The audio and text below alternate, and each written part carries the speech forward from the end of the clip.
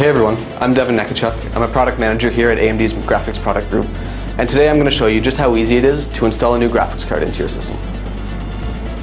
There might be some big games this holiday season that you're looking forward to, like Dirt 2, uh, like Modern Warfare 2, or Dragon Age Origins, uh, and a, a new graphics card is the easiest way to upgrade your system so it's ready to play these games. Not only are these graphics cards good for these, these games, but it's also good for general Windows 7 uh, computing experience, such as transcoding video for your portable media player, or just getting a great HD media experience.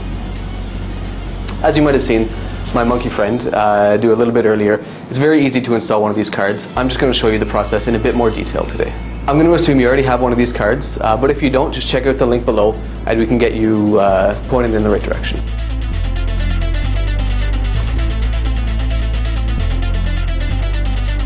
So to get started, all we really need is a Phillips screwdriver and your graphics card. So before you get started, make sure that you ground yourself before you uh, open up your PC. You can do this by touching any grounded metal object, such as a water tap. Also make sure that your PC is shut down and that the power switch is turned off at the back of the computer. Unplug all the cables, especially the power cord.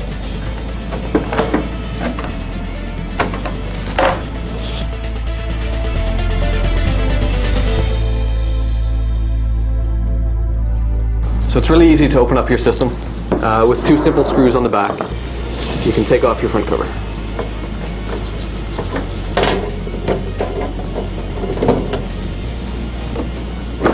If you've had your PC a while, it might be a little bit dusty in there, so keep a vacuum cleaner handy if you want to uh, if you want to clean up the inside of your case. So here's the inside of our system. Your system might not look identical, but it will share a lot of the same components.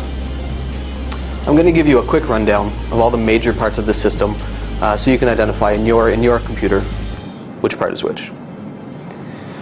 This is the CPU uh, under this fan. The vertical slots here are for the memory. Uh, you have the hard drive over here, and there's usually an open slot for a graphics card. So this slot right here is called the PCI Express slot, and it's used for graphics. Some motherboards have one, two, or even more slots.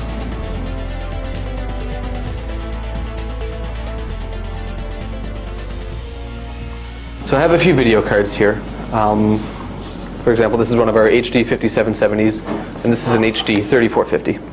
Uh, you notice they look quite a bit different. Uh, just like cars, video cards come in all sorts of uh, styles. Some of them are much more powerful and will require an external power connector, while other ones that aren't quite as powerful don't require the connector. This right here is the PCI Express interface that will go into the slot that I showed you earlier. So first locate your PCI Express graphics slot. There may be some plates on the back of your case that you'll need to remove. Place the card in the slot and push it down to secure it. You may need to also screw in your graphics card.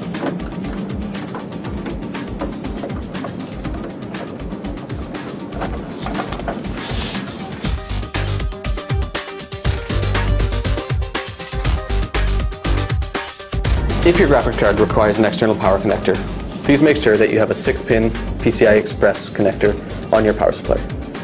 Uh, you can contact your system manufacturer or your power supply vendor to verify this. Simply plug the power connector into your video card and install the video card the same way as you did before.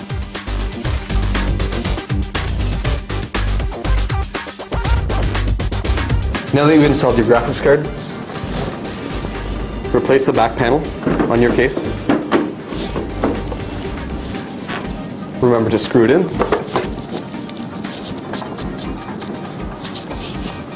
And reconnect all the cables to the back. The first thing you need to do is reconnect your display connector. Uh, this might be in a position if you have a new video card and did not have one before. Reconnect all your peripherals, including your mouse and the keyboard. And lastly, reconnect the power and turn your power supply back on.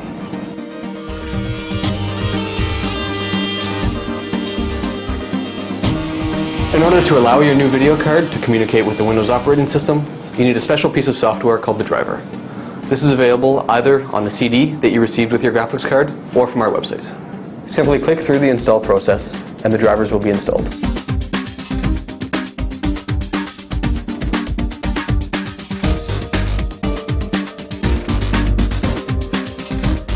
Click on finish, do one final reboot, and your drivers will be installed.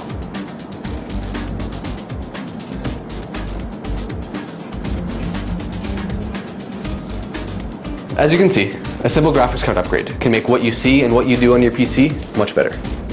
Think you're ready to try for yourself?